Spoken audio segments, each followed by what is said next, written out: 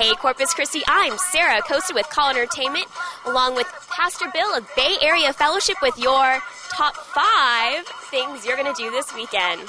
Head out to Bay Area Fellowship this weekend.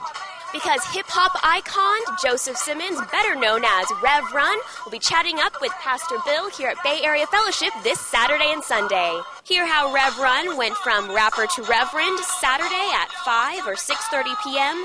or Sunday at 8:30 a.m., 10 a.m., 11:30 a.m., and 1 p.m. This event is free. Homemakers, listen up. The 12th annual Home and Garden Show will be at the American Bank Center this weekend at these show times. Tickets for adults cost $6. September is National Drug and Alcohol Recovery Month. Celebrate those recovering at Soberfest along with a run walk at Macon Park this Saturday at 4:30 p.m. See the man behind one of the most played songs in the 80s, John Waite, at Brewster Street this Friday at 9 p.m. Tickets cost $20 in advance and $23 at the door.